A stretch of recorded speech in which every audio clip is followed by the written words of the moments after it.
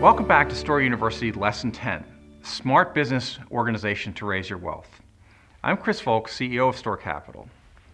In the first part of this lesson, we dismissed the notion that you need to personally have a lot of money to start or buy a business. It may take money to make money, but it does not have to be your money. And really, most entrepreneurs and successful business founders did not have the advantage of having money to begin with. They had to start or buy their businesses relying on the contributions from other shareholders. Throughout STORE University, I've generally referred to OPM or other people's money in the context of borrowings or real estate and equipment lease capital.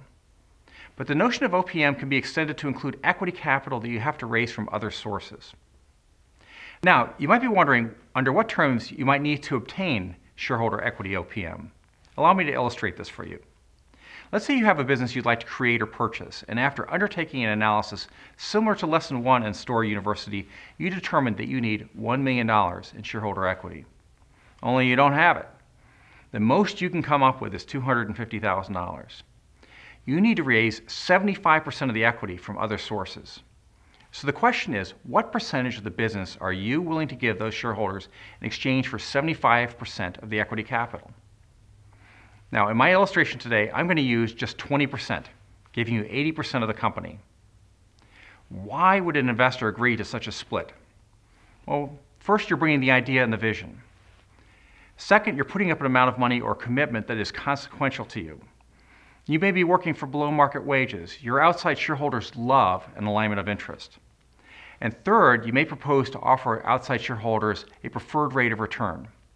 In this example, let's use a preferred rate of return of 10% annually. This means that you commit to your shareholders that they're going to realize a 10% rate of return before you get paid. Preferred rates of return can be a huge inducement to attract investors and offer a meaningful way to say that you're shoulder to shoulder with them. So if your business produces a current return on equity of 10%, and here you can use the V formula as a tool to compute the equity rate of return, then your shareholders get 75% of the money, so that they get their 10%, and then you get the other 25%. Note that the V formula is designed to compute a current pre-tax rate of return. Most private companies pay no taxes since their earnings are taxed at a personal level, and this works just fine. If you elect to use a taxable corporate structure, then you might devise a tax rate to apply to the V formula.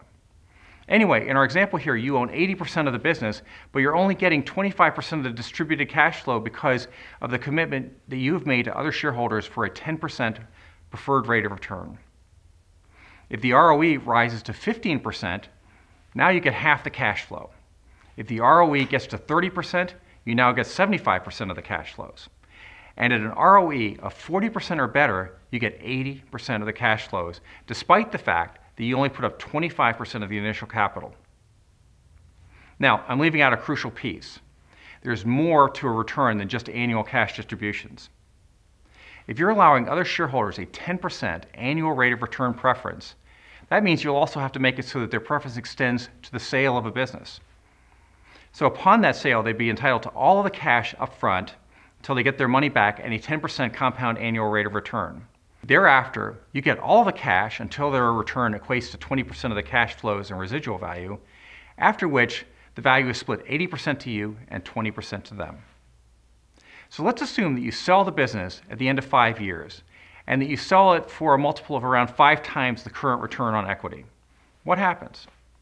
Well, if your current pre-tax equity rate of return is a constant 15%, then your outside shareholders would get virtually all of the proceeds from the business sale. If your current equity returns rise to 20%, their business split would fall to 75%. And at a constant current equity rate of return of 60% or better, they would get 20% of the proceeds from the business sale, and you, with your smaller 25% investment, would realize 80% of the sale proceeds. How does this illustration look from an internal rate of return vantage point? Well, with a 15% current return on equity business, your outside shareholders would realize a rate of return of 10%. Because you get to catch up to realize 80% of the cash flows as returns increase, your investors would keep a 10% IRR until the business current return on equity hits around 40%. After that, their 20% split starts to increase their rates of return gradually. This type of arrangement is ideal for shareholders who are looking to have a nice rate of return, but who also want to protect their downside risk. That is actually a lot of investors. Now, what happens to you? Well, you only have put up 25% of the money and still have an internal rate of return of 15% annually at a current ROE of 15%. By the way, a 15% current ROE would be viewed as fairly mediocre. And yet you still have a personal IRR of 15%. And your outside shareholders still have realized their preferred rate of return of 10%. If you get to an ROE of 30%, your rate of return is about 100% annually on your investment. At a current business ROE of 60%, you can double that to 200%. Here, you're not only making a huge rate of return on your investment, but you've created big time value. If a similar investor were looking to have a similar current rate of return of 20%, you would have just multiplied your $250,000 investment by 10 times to $2.5 million, which you get by dividing your 200% current ROE by the 20% return requirement. If you're wondering how entrepreneurs get really rich, you can now stop because this is how. And in this illustration, you've gotten rich while making all of your stakeholders happy. You've created career opportunities for your staff. You've honored all of your commitments for OPM. And you've offered a nice risk-protected preferred rate of return of 10% to remaining shareholders who got paid first before you got a single equity distribution.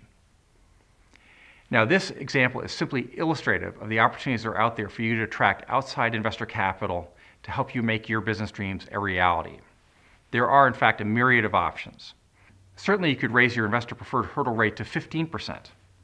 In that case, at a 30% current ROE business, your IRR would fall to about 83% from 100%. You'd still be around 200% at a current ROE of 60%. Use your imagination, cut the deal, and you're on your way. But you aren't done. There are a few more things to consider, and we're going to do this in our final chapter. Until then, I'm Chris Volk, thanking you for joining me on this value creation journey.